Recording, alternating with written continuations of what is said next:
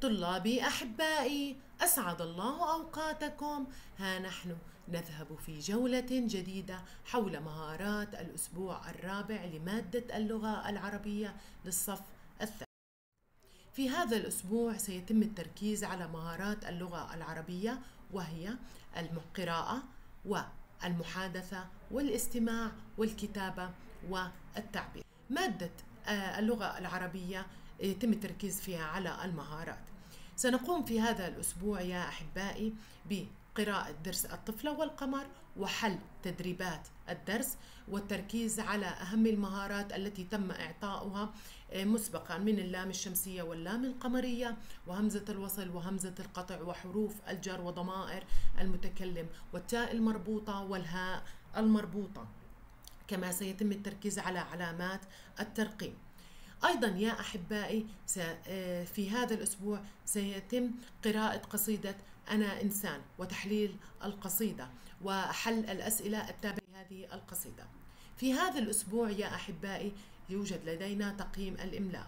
سنقوم بقراءة فقرة الإملاء من كتيب الإملاء وقراءتها عدة مرات من قبل الطلبة والتعرف على أهم المهارات التدريبية الموجودة في هذه الفقرة. أيضا سنقوم بالتدرب على كتابتها عدة مرات في آه، كتيب الإملاء وعلى دفتر النسخ. يا أحبائي سيتم التركيز على مهارة القراءة. وهناك لدينا تقييم للقراءة.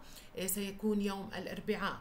آه، من خلال الطفلة والقمر وقصيدة أنا إنسان سيتم التدرب على القراءة والكتابة الإملائية بشكل يومي.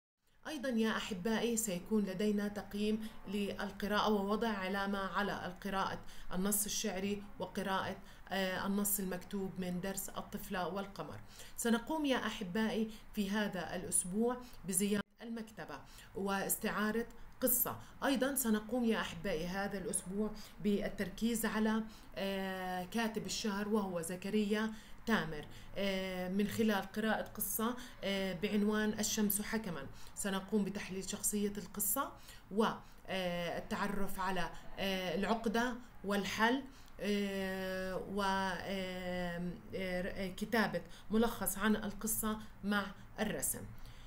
طلابي أحبائي أشكر لكم حسن استماعكم وإلى اللقاء.